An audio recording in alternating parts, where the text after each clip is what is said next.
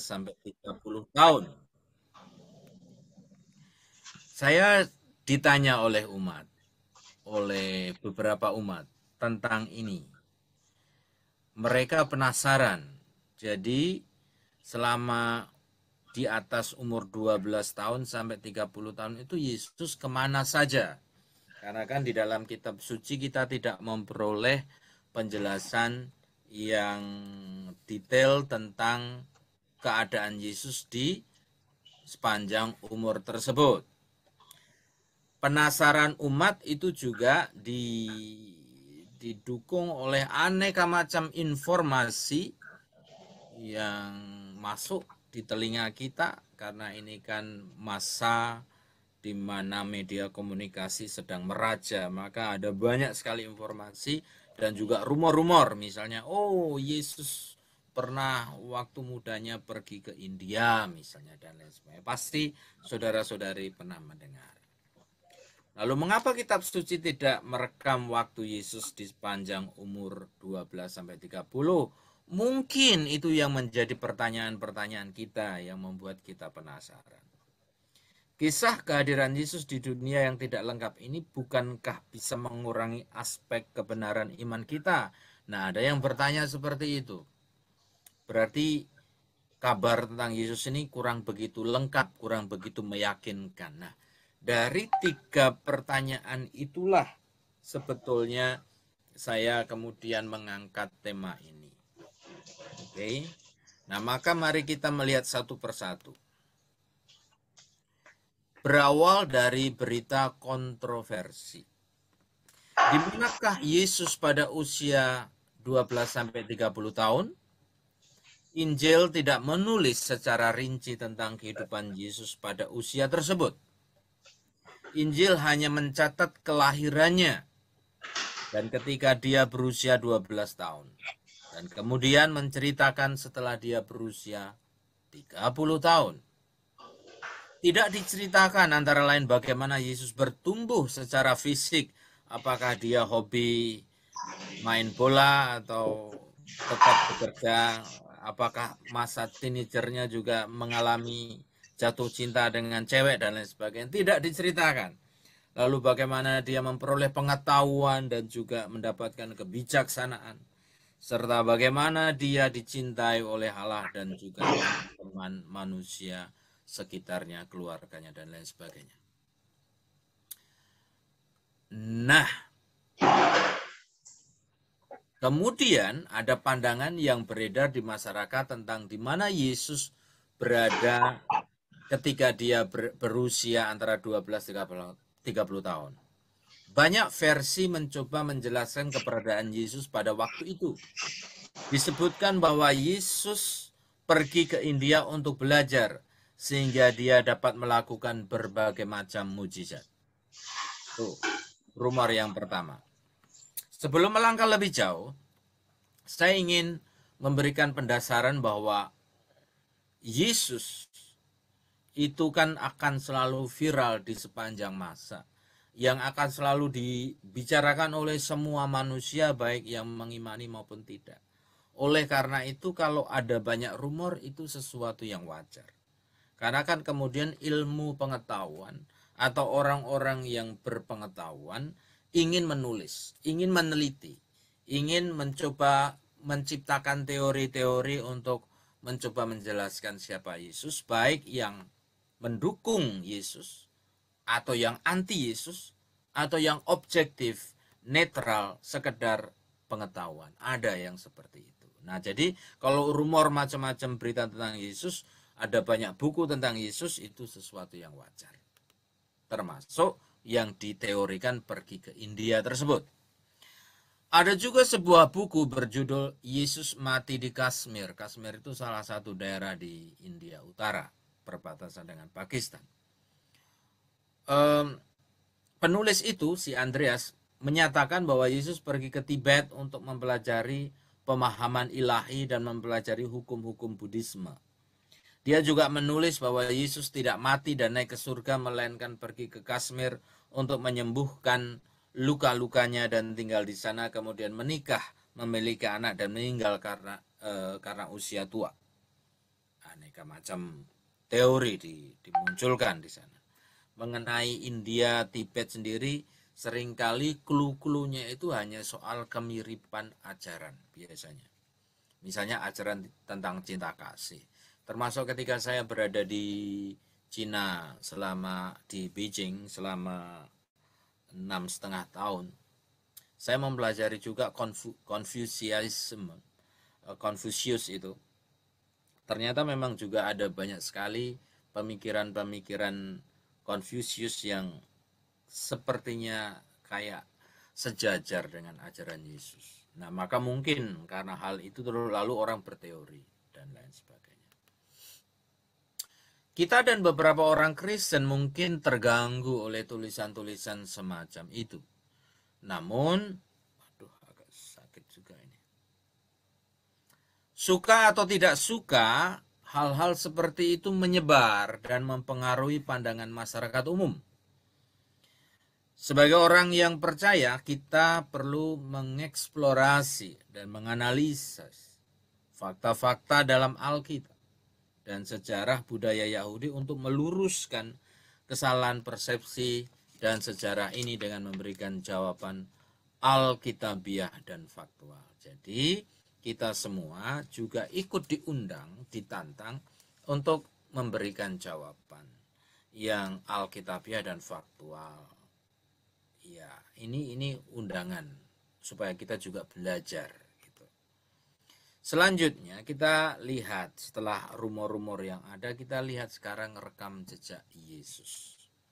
Kalau kita mau memilih presiden, memilih gubernur kan kita perlu melihat rekam jejaknya. kita untuk semakin mencintai Yesus, kita harus melihat rekam jejaknya. Keberadaan Yesus sebagai manusia, sebagai manusia, pertama pertama kali dicatat ketika malaikat Gabriel datang kepada Maria dan berkata bahwa dia akan mengandung dari Roh Kudus. Karena kalau pemberitaan Sang Mesias itu sudah diberitakan dalam perjanjian lama bahwa nanti akan ada Mesias itu udah secara hampir di seluruh uh, perjanjian lama itu ada pemberitaan tetapi bahwa hadir sebagai manusia. Nah inilah malaikat Gabriel. Sebelum berinkarnasi sebagai manusia dia adalah firman Tuhan yang maha kuasa Tuhan sendiri. Penampakan pertama atau kehadiran Yesus ke dunia dicatat dengan jelas dalam Alkitab. Kitab Matius mencatat bahwa ia lahir di kota Bethlehem di Yudea, sebuah wilayah di bawah pemerintahan Raja Herodes. Yudea sebagai bagian dari tanah Palestina pada waktu itu berada di bawah pendudukan Romawi. Jadi Tuhan Yesus itu hadir di tengah-tengah masyarakat yang sedang dijajah oleh bangsa Romawi. Sehingga nanti akan kelihatan ada unsur-unsur politik yang diharapkan oleh para murid bahwa Yesus akan menjadi pembebas dalam arti yang fisik revolusi dalam arti uh, yang fisik membebaskan bangsa dari penjajahan. Penampakan Yesus yang kedua ketika ia berusia delapan hari dan dibawa oleh Yusuf dan Maria untuk disunat menurut hukum. Dan ketika delapan hari dikenapi dan dia harus disunat, dia diberi nama Yesus, nama yang disebut malaikat sebelum ibunya, ibunya mengandung. Jadi ini ini salah satu perikop yang menceritakan yang pasti saudara-saudari mengenalnya. Dalam berdasar eh, dasar tradisi sunat itu sendiri berasal dari perintah Tuhan kepada Abraham bahwa anak laki-laki berusia delapan hari itu akan disunat. Setiap orang di antara kamu sepanjang generasimu, keduanya lahir di rumahmu dan dibeli dengan uang dari salah satu orang asing tetapi bukan keturunanmu. Kalau ngomong-ngomong soal sunat itu menurut saya sunat juga bukan tradisi muslim ya karena muslim itu menjadi tradisi karena juga mohon maaf dalam arti tertentu ya Al-Quran ya isinya mirip dengan perjanjian lama dan kita dalam perjanjian lama ya ada gitu kan. Ini sudah jelas ini. Setiap setelah waktu penyucian yaitu 40 hari setelah Maria melahirkan Yesus maka menurut hukum Musa Yusuf dan Maria membawa Yesus ke bait suci di Yerusalem untuk memberikannya kepada Allah seperti yang tertulis dalam hukum Tuhan. Semua anak sulung akan dikuduskan kepada Allah dan untuk mempersembahkan kurban sesuai dengan apa yang dikatakan dalam hukum Tuhan yang merupakan sepasang merpati atau dua merpati. Anak sulung atau anak tunggal. Jadi teori ini tidak masuk ke orang tua saya karena saya anak paling kecil justru yang dipersembahkan ke gereja yang paling besar tidak. Bukan berarti kok terus tidak mengabdi kepada Tuhan. Kita semua yang berkeluarga pasti juga diundang untuk mengabdi kepada Tuhan. Persembahan kepada Allah ini disaksikan oleh Simeon dan Hana. Kemudian dalam tradisi Kristen penyerahan seorang anak kepada Tuhan disebut sebagai persembahan anak. Yesus berumur 40 hari ketika ia diserahkan kepada Allah menurut hukum. Alkitab kemudian menulis dan ketika semua yang harus dilakukan sesuai dengan hukum Tuhan selesai, mereka kembali ke kota asal mereka, Nazaret di Galilea. Anak itu tumbuh dan menjadi kuat, penuh hikmat, dan kasih karunia Allah ada padanya. Nah inilah kata kunci dalam Injil ini. Anak itu tumbuh menjadi kuat, penuh hikmat. Nah tidak dikatakan sampai umur berapa. Nah tapi mungkin orang-orang kita itu inginnya lebih gitu. Ingin oh ini nggak jelas ini sampai umur berapa. Pokoknya setelah ini, setelah umur 12 ini terus hilang gitu. Seolah-olah nggak ada berita lagi kayak sebuah film misalnya cerita anak kecil orang tuanya dibunuh lalu anak kecil diselamatkan lalu kalimatnya 20 tahun kemudian. Nah, terus kemudian anak kecil itu mulai beraksi. Nah seperti cerita dalam film itu apakah seperti itu? Nah kita lihat nanti. Agak senut-senut. Penampakan ketiga adalah ketika Yesus berusia 12 tahun Ketika Yesus berumur 12 tahun, mereka pergi ke Yerusalem seperti biasa pada hari raya. Dari urian ayat-ayat di atas tampak bahwa Yesus selama ini, yaitu sejak lahir hingga usia 12 tahun, selalu bersama orang tuanya di kota Nazaret di wilayah Galilea. Jadi satu clue bahwa dari lahir sampai 12 itu selalu dengan orang tuanya. Oke. Okay? Penampilan keempat menurut catatan Injil Lukas adalah ketika berusaha berusia 30 tahun. Jadi lompat dari umur 12. Pada usia inilah ia dibaptis oleh Yohanes Pembaptis di Sungai Yordan dan kemudian dan memulai pelayanannya dengan penuh kuasa dan mujizat. Dia melayani selama sekitar tiga tahun dan kemudian disalibkan, mati dan bangkit dan naik ke surga untuk memberi ruang bagi mereka yang percaya kepadanya. Ngomong-ngomong soal misi misi kami di negeri tirai bambu, waktu itu ada teman saya yang sharing bahwa belajar bahasa Mandarin susah dan butuh waktu yang lama. Nah, kemudian Romo Jenderal kami, pimpinan kami mengajak kami semua, khususnya teman saya itu untuk berkaca kepada Yesus. Yesus itu berkaryanya cuma tiga tahun. Tetapi masa persiapannya itu yang penting. Jadi menurut Romo Jenderal saya, selama masa hilang ini dari 12.30 itu dianggap sebagai masa persiapan yang begitu panjang. Tetapi panjang tidaknya persiapan tidak akan menentukan oh, maksud saya adalah uh, walaupun berkaya dalam masa yang sedikit tetapi itu tidak mempengaruhi apa namanya seolah-olah persiapan yang panjang itu menjadi sia-sia. Yang penting impactnya. Di mana Yesus Dani? Pertanyaannya sekarang saya jawab. Yang pertanyaan awal tadi. Di mana kemudian? Yang bertanya-tanya. Mungkin saudara-saudari juga bertanya. Lalu di mana? Di mana? Di mana? Di mana? Nah, dari analisis fakta-fakta Alkitabiah dapat dilihat bahwa ada periode yang panjang antara 1230 di mana tidak ada penampakan atau kegiatan Yesus yang dicatat. Jadi satu clue di sini. Bukan kok Yesus menghilang, tapi tidak ada kegiatan Yesus yang tercatat meskipun tidak secara eksplisit ditulis dalam kitab suci, kita dapat menyimpulkan bahwa dia tinggal di Nazaret. Sebagai putra seorang tukang kayu, dia dididik membantu ayah angkatnya Yusuf dan setelah Yusuf meninggal, dia sendiri menggantikannya sebagai tukang kayu. Jadi bukan Yesus menghilang entah ke mana lalu tiba-tiba muncul. Itulah sebabnya ketika dia berkhotbah di Nazaret, orang-orang mengenali dia sebagai Oh, bukankah dia ini anak tukang kayu gitu.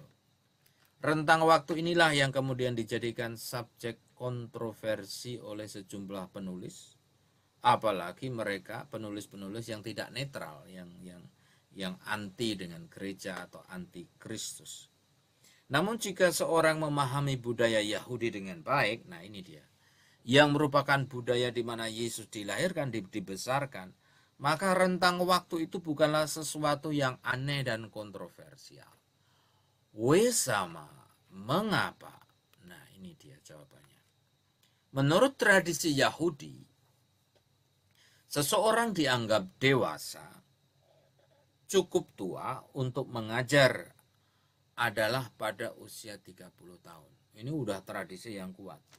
Kalau udah lulus studi jadi guru kalau belum umur 30 itu belum diberi otoritas. Karena tradisi Yahudi itu sangat ketat sangat tertib. Ini adalah usia di mana seseorang mulai diakui sebagai guru rabai oleh komunitas Yahudi Yesus yang lahir dan dibesarkan dalam budaya itu tahu dengan pasti itu sebabnya dia mulai muncul dan mengajar ketika dia berusia 30 tahun.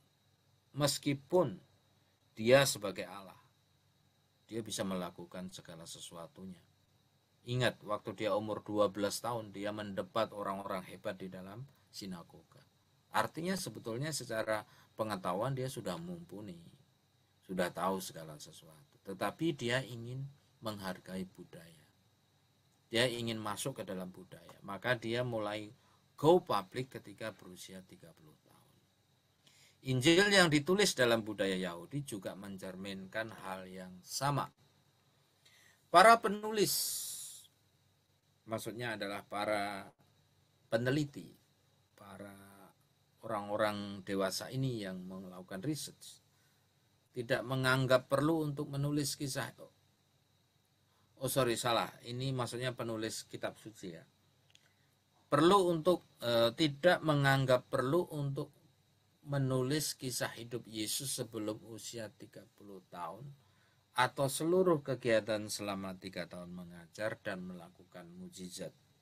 Karena dalam Injil Yohanes dituliskan ada banyak hal lain yang Yesus lakukan tetapi jika mereka harus ditulis satu persatu maka mungkin dunia tidak dapat berisi semua buku yang harus ditulis. Betul. Ini pernah saya katakan dalam komunitas kita. Yesus itu Allah itu maha besar.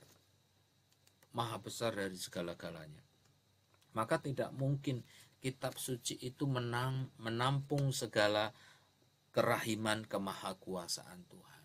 Karena kalau mau ditampung semuanya, akan ada berapa bab mungkin dunia ini tidak cukup untuk menampung uh, buku kitab suci itu maka Ini menjadi jawaban kunci yang penting.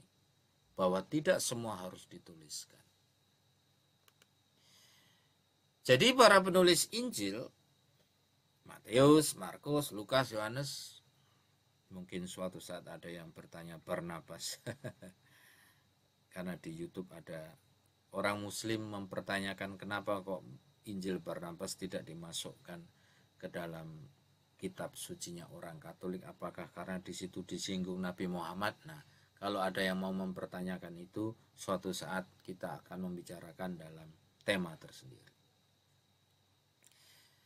jadi para penulis Injil hanya memilih untuk menulis cerita, ajaran, dan segala sesuatu yang berkaitan dengan tujuan akhir kedatangan Yesus ke dunia, yaitu menjadi juru selamat yang menebus dosa-dosa umat manusia.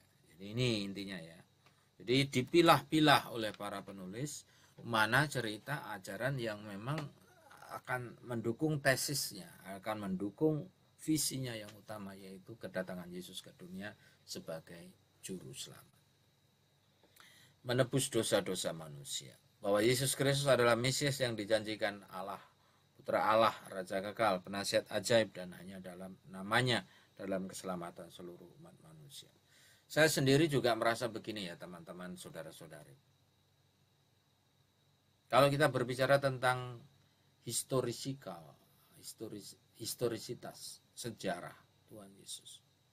Saya itu kok nggak begitu penasaran seperti banyak pertanyaan itu. Saya itu kok nggak merasa penting melihat uh, sejarah Yesus secara detail. Karena bagi saya yang penting fakta bahwa Yesus itu adalah nyata, bukan hoax.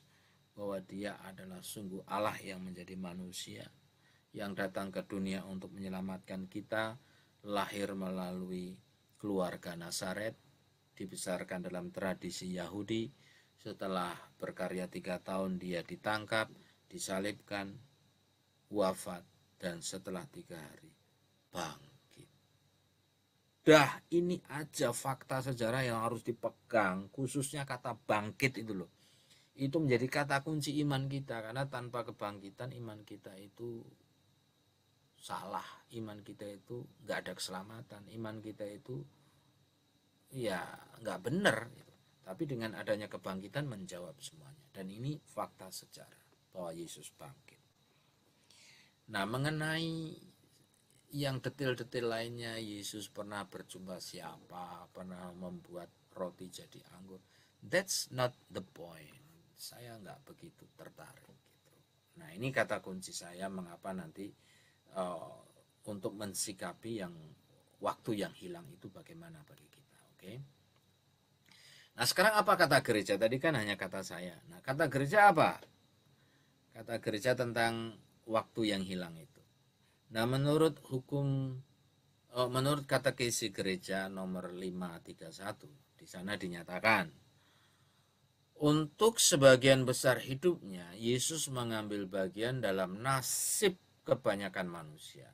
Nah, ini ya, tidak detail tapi dikatakan secara garis besar Yesus mengambil dalam nasib kebanyakan manusia kehidupan biasa tanpa kebesaran sebagai orang kampung, sebagai anak tukang kayu, kehidupan seorang pengrajin, kehidupan di tengah masyarakat religius Yahudi yang tunduk pada hukum kehidupan dalam persekutuan desa. Dari seluruh periode ini, hanya terungkap kepada kita bahwa Yesus mematuhi orang tuanya dan meningkatkan hikmat dan kebesarannya akan semakin dikasih Allah dan manusia. Itu kata gereja. Dan penting digarisbawahi di sini ya. Kita mungkin merasa, oh Yesus itu bisa melakukan segala sesuatu atau kebijaksanaannya itu tiada taranya. Ya karena dia Allah. Oke. Tapi kita jangan menafikan atau kita jangan mengabaikan jasa-jasa keluarga Nazaret, khususnya Yusuf dan Maria. pendidikan keluarga itu sangat penting. Maka Yesus seperti itu saya yakin juga karena dia dibentuk oleh keluarga Nazaret. Hikmat dan kebesarannya dibentuk dari keluarga itu, bukan hanya dari unsur kealahannya. Kata hukum aku, bukan hukum, kata kata katekisi gereja yang kedua dikatakan di situ dalam ketaatan kepada orang tuanya, Yesus menggenapi perintah keempat dengan sempurna. Hormatilah bapak ibumu. Itulah gambaran duniawi tentang ketaatannya kepada anak Eh, sebagai anak kepada Bapa surgawinya. Ketaatan Yesus sehari-hari kepada Yusuf dan Maria mengungkapkan dan mengantisipasi ketaatannya pada hari Kamis Putih. Bukan kehendakku, tetapi kehendakmu ya Bapa.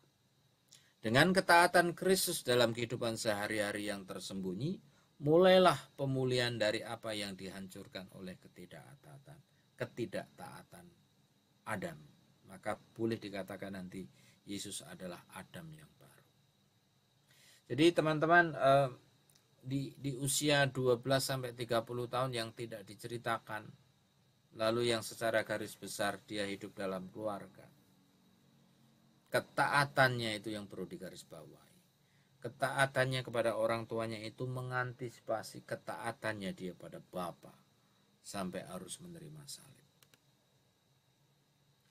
Yang ketiga, catatan dari gereja, kehidupan tersembunyi di Nazaret memungkinkan setiap orang termasuk kita untuk bersama Yesus dalam kegiatan sehari-hari.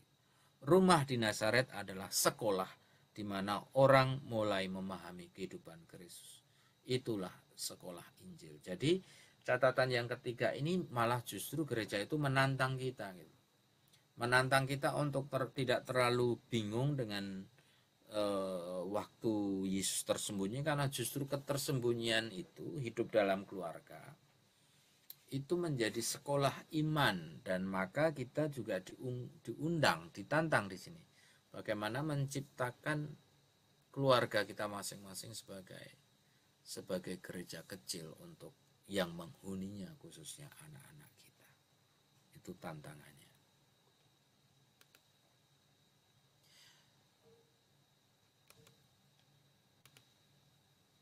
Oke. Pertama-tama dia mengajarkan diam. Ini kita mencoba memaknai ketersembunyian Yesus. Yesus mengajarkan. Semoga kehidupan di dalam diri kita menjadi penghargaan besar untuk keheningan. Sikap semangat yang luar biasa dan perlu ini membantu kita untuk belajar betapa pentingnya hidup di rumah. Nasaret memperingatkan kita tentang apa sebenarnya keluarga itu. Tentang kebersamaannya dalam cinta, martabatnya, keindahannya yang mulia, kekudusannya dan haknya yang tidak dapat diganggu Jadi misionaris itu bukan hanya tugas saya. Kalian semua adalah misionaris yang diundang untuk bermisi dan misi Anda yang paling mulia adalah menghidupi keluarga kita seperti keluarga Nazaret. Akhirnya kita belajar di sini aturan bekerja dengan ketertiban penuh dalam konteks Yesus sebagai putra tukang kayu.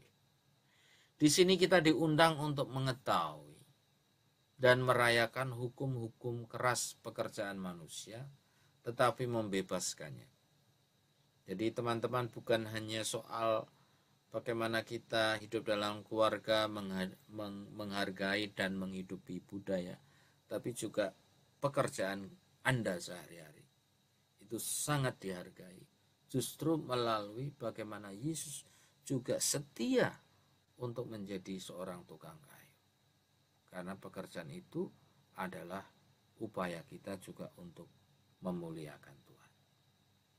Pada saat yang sama sekarang kita harus memperluas berkat kepada para pekerja di seluruh dunia dan menunjukkan kepada mereka contoh luhur dari saudara ilahinya. Ini juga kesempatan mengundang kita untuk mendoakan bagi siapa saja yang bekerja. Khususnya yang bekerja manual dan keras. Nah, teman-teman, ini sekarang kita masuk ke alasan Yesus muncul pada usia 30. Tadi saya sudah singgung ya, bahwa di tradisi Yahudi, orang itu dianggap dewasa atau secara official boleh berdiri di atas mimbar itu ketika usia 30 tahun. Oke, jadi jelas ya. Nah, tapi apa kegiatan sebelumnya? Nah, ini dia. Di manakah Yesus setelah usia 12 tahun? Menurut hukum Yahudi, usia seorang anak diklasifikasikan dalam delapan tahap. Jadi ini agak teknikal kayak anak sekolah ya, nggak apa-apa ya kita sekolah sebentar.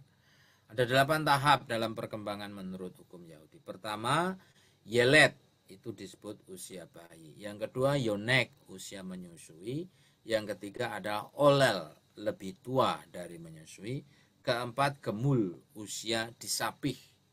Kelima, tap usia berjalan, keenam ulem anak-anak, ketujuh naar mulai tumbuh remaja, kedelapan bahar usia remaja. Jadi ini tahap-tahap perkembangan menurut istilah hukum Yahudi. Dari catatan kehidupan Yesus dalam Injil, kita hanya membaca tiga klasifikasi usia yang ditulis, yaitu bayi. Yesus bayi itu diceritakan. Yesus menyusui diceritakan. Ketika Yesus dilahirkan di bait suci sebelum Simeon dan Hana dan remaja. Ketika ia berusia 12 tahun, Yusuf dan Maria membawa ke Yerusalem. Tiga itu. Mengapa Yesus diberitahu tentang kehadirannya di bait suci pada usia 12 tahun? Karena usia 12 tahun untuk tradisi Yahudi tentang waktu Yesus yang juga sangat penting. 12 itu adalah nomor penting dalam tradisi Yahudi. Menurut tradisi atau legenda Yahudi, pada usia 12 tahun Nabi Musa meninggalkan rumah putri Fir'aun. Samuel menerima suara yang berisi penglihatan ilahi. Salomo mulai melihat penglihatan Allah dengan dan usia Raja Yusia menerima visi reformasi besar di Yerusalem. Semuanya itu dalam jangka 12 tahun. Jadi ada peristiwa penting dalam perjanjian lama yang pakai 12 tahun. Maka Yesus pun pada usia 12 tahun. Nah, jadi ini untuk menandai momen yang sangat penting dalam hidup Yesus. Pada usia 12 tahun seorang anak laki-laki Yahudi harus melakukan upacara yang disebut bar mitzvah itu ada Ustadz Mistaf Bar Mistaf putra hukum. Apa adapun upacara putrinya disebut bat mitzvah upacara ini secara harafiah menunjukkan bahwa seorang anak kecil mulai bertanggung jawab penuh atas semua tindakannya di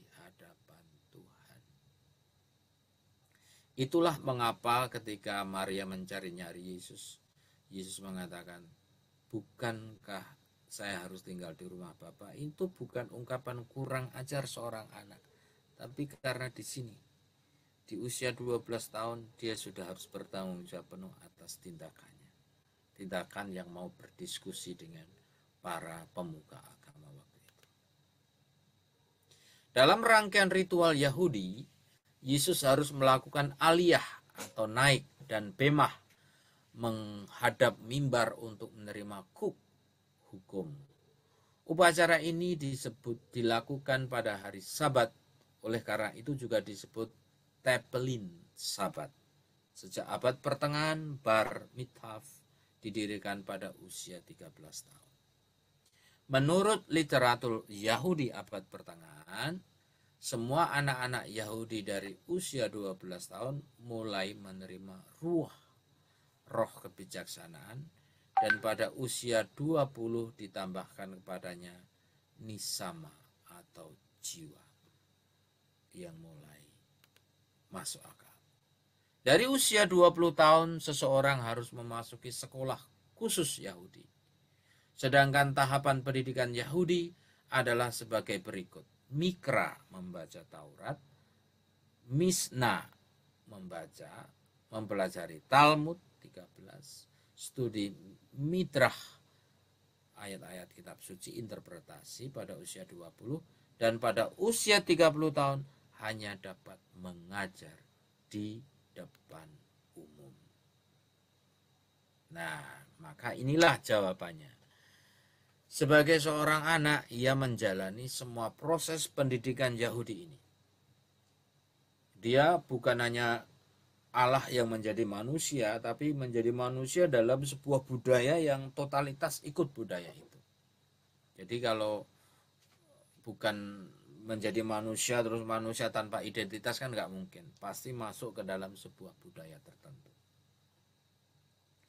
Dia belajar seperti anak Yahudi lainnya. Di luar sekolah ia membantu orang tuanya untuk membuat peralatan kayu. Alkitab mencatat pada saat kedatangannya Yesus mengajar orang-orang di sana di sinagoga mereka. Jadi mereka kagum dan berkata, dari mana dia mendapatkan kebijaksanaan dan kekuatan untuk melakukan mujizat? Bukankah dia anak tukang kayu? Bukankah ibunya bernama Maria? Ini menunjukkan bahwa memang Yesus itu sudah akrab, dikenali oleh mereka. Itu artinya dia tinggal di desa itu lama. Selain itu, Alkitab juga mengatakan bahwa tampaknya Yusuf meninggal lebih awal dari Maria. Dengan demikian, sesuai dengan tradisi Yahudi sebagai anak sulung, secara sosioekonomi, Yesus harus menjadi tulang punggung kehidupan keluarga untuk membantu ibunya Maria. Hari-hari hidupnya dipenuhi dengan belajar dan membantu ekonomi keluarganya. Kesimpulannya, dari tahap-tahap pendidikan Yahudi di zaman Yesus, latar belakang agama, budaya, dan sosio, sosio, sosial ekonomi jelas bahwa kontroversi cerita tentang 18 tahun kehidupan Yesus yang tidak tercatat sama sekali tidak memiliki dasar yang kuat secara historis. Maksudnya yang pergi-pergi ke India, ke Tibet itu. Kontroversi-kontroversi rumor-rumor itu tidak mempunyai dasar yang kuat secara historis. Justru catatan yang kuat secara historis itulah Yesus berada di kampung halaman. Berdasarkan analisis yang telah disajikan selama 18 tahun atau antara 12 sampai 30 tahun itu, Yesus tinggal bersama keluarganya di Nazaret. Dia belajar seperti anak Yahudi dan juga membantu orang tuanya sebagai tukang kayu. Jadi secara analisis e, budaya dia ada di di dalam keluarganya. Meskipun di Alkitab tidak Mengapa kisah hidupnya hanya dicatat secara rinci setelah usia 30 tahun? Nah ini bagi yang bertanya, mengapa kok kitab suci tidak lengkap mencatat? Karena dalam tradisi Yahudi, pada usia inilah seseorang dianggap matang untuk mengajar dan berkhotbah, dan pada usia inilah tujuan utama kedatangan Yesus ke dunia menjadi jelas melalui ajaran dan mujizatnya. Dengan kata lain juga, pada usia 30 tahun 30 tahun inilah dia mulai menjadi pusat perhatian orang dan mulai ditulis, mulai tertarik untuk dibukukan. Sebetulnya mirip dengan kita, mirip dengan kita. Dalam arti tertentu, siapa yang mau menulis saya? Nggak ada, saya nggak terkenal. Tapi kalau tiba-tiba saya viral gitu di di YouTube mungkin, nah mulai orang mencari-cari, lalu mencari sejarah hidupnya atau mulai Tujuan kedatangannya adalah memberitakan kabar baik kepada orang miskin, untuk memberitakan pembebasan kepada para tawanan, dan visi bagi orang buta untuk membebaskan yang tertindas, untuk mewartakan tahun kerahiman Allah telah tiba, dan untuk menggenapinya dengan kematiannya di kayu salib untuk menembus dosa-dosa dunia. Itulah tujuan Tuhan Yesus yang harus ditulis Injil ditulis pertama untuk mengajarkan tentang perbuatan dan kata-kata Yesus yang berkaitan dengan rencana keselamatan Allah. Jadi bukan biografi Yesus yang menceritakan kehidupan Yesus secara rinci. Jadi jelas ya.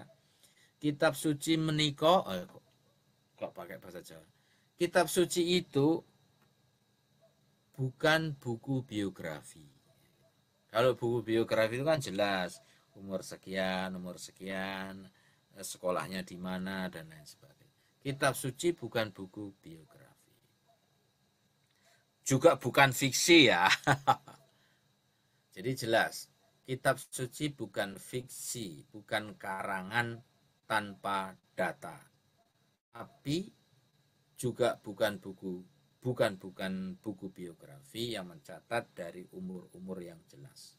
Tapi adalah buku iman, kesaksian iman yang ditulis atas inspirasi Roh Kudus yang menceritakan fakta sejarah tetapi kemudian tidak kok ditulis dengan detail seperti ilmu sejarah.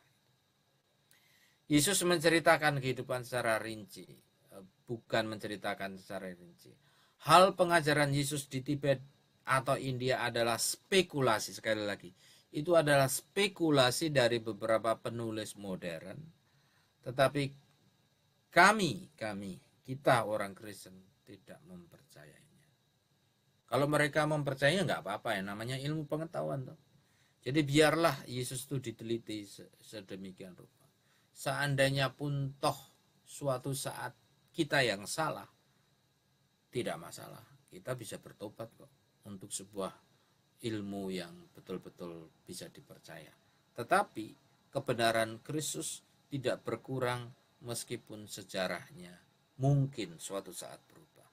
Tapi kebenaran keselamatan yang tawarkan Yesus tidak berkurang sedikit pun.